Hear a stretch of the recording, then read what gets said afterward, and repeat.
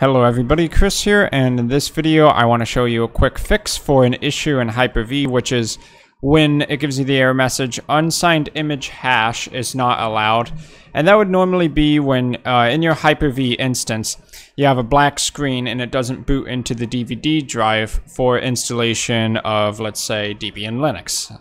So the issue here is that Hyper-V has something called secure boot, where only a very select few uh, DVDs are initially bootable.